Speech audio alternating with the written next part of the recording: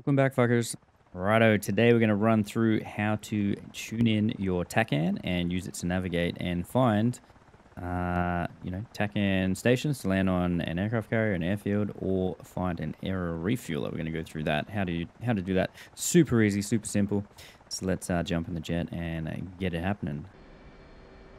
All right. So when you uh, uh join a, a server, if you're playing multiplayer, or if you're playing a single player um, mission, if the mission editor or creator has done their job properly, they should have put all the details and relevant information you need into the mission briefing, which you press by, or you bring up by pressing left alt B. All right, left alt B brings up your mission briefing page, and this is where you should have all of your, uh, your information required for the mission. If the mission editor has done their job properly, if they don't, then pretty much all the TACAN and stuff is irrelevant because you don't know what the hell anything is. So just double check mission briefing page to get all the uh, appropriate uh, and radio frequencies and all that stuff that you need.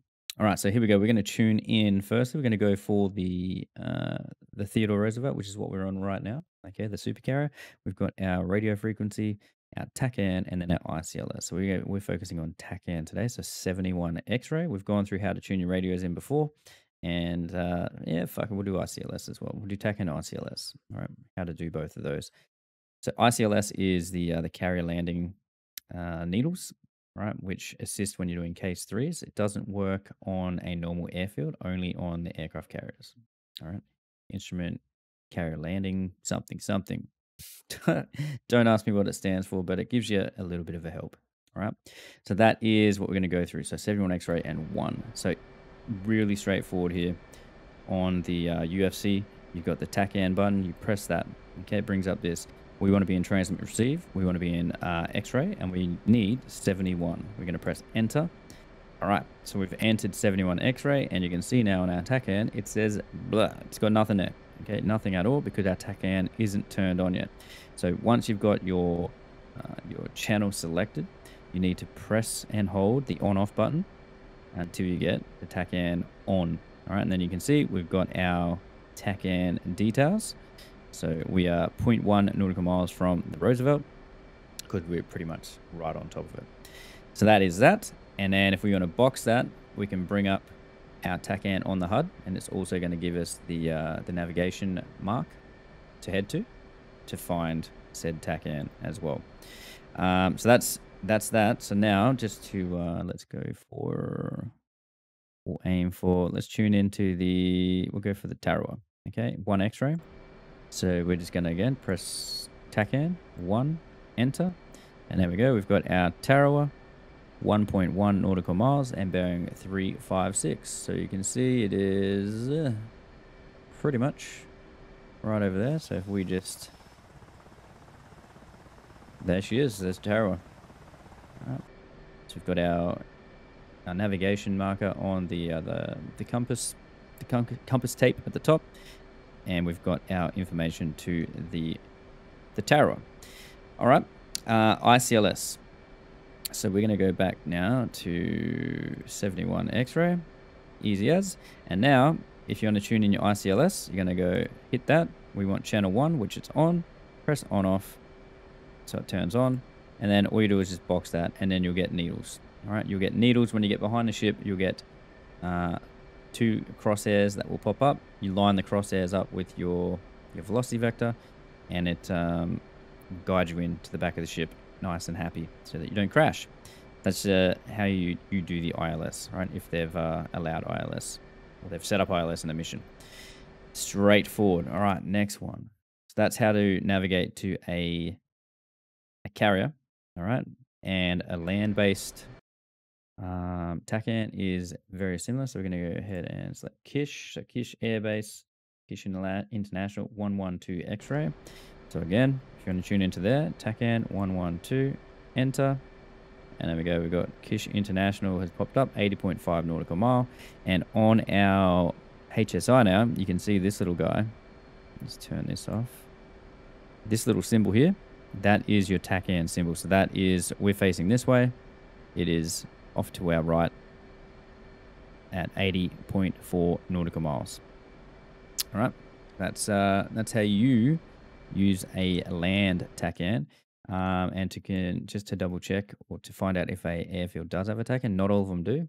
Just click on the little blue uh, information there in the TACAN. If it's dashed out like that, it doesn't have a TACAN, obviously. And then if it does have a TACAN, it will say whatever the TACAN is. So not all airfields have a TACAN. Just keep that in mind. Um, so you're not going to be able to use TACAN to navigate to everywhere. But if it does have a TACAN, nice and easy for you, you can navigate. And lastly but not least, we're going to go through how to get yourself uh, tuned into a aero refuel. Okay, so into a uh, tanker. So 18 Yankee is what we're after here. So now we're going to go TACAN. We want 18. We're going to press enter. Yankee. And then we're going to go air to air. All right.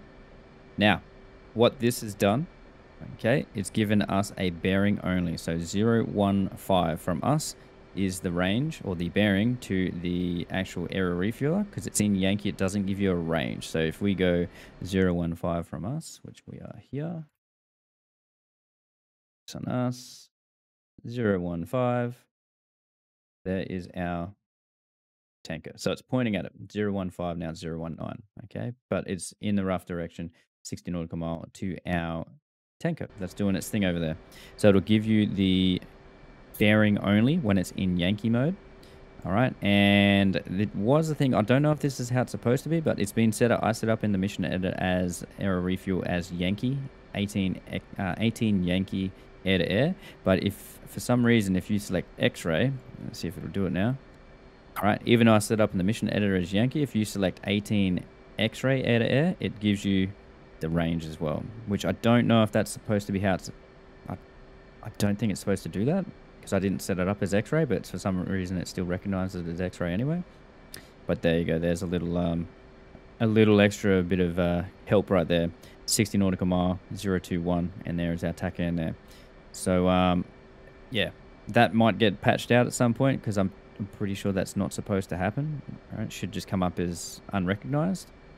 But um, yeah, Generally, aero refuelers are set in Yankee, all right, and then you just get a bearing to them, and then once you actually check in with the aero refueler, they will tell you their altitude and uh, their airspeed and stuff as you're uh, navigating towards them, and then you can just yeah fly towards them, find them on a radar, and then uh, get amongst it.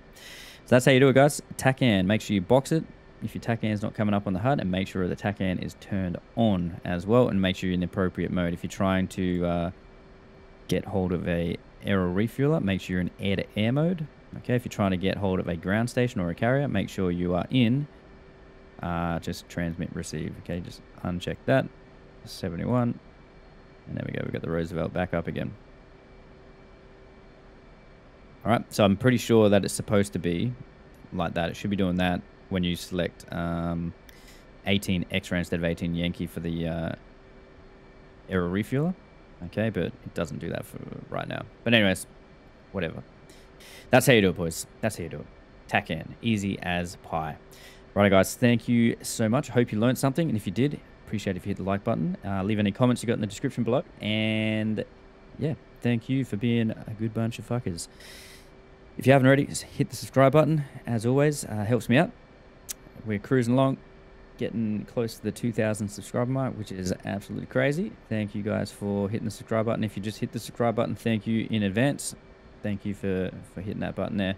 And last but not least, I do stream on Twitch Monday to Friday at 1300 Australian Western Standard Time. So if you haven't already, links in the description below.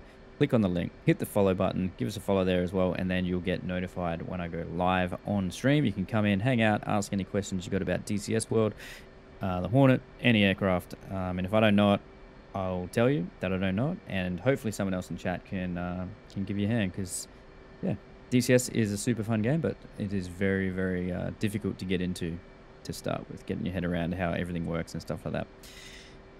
All right, boys, have a good one. Thanks for watching, and I'll catch you on the next one. Peace.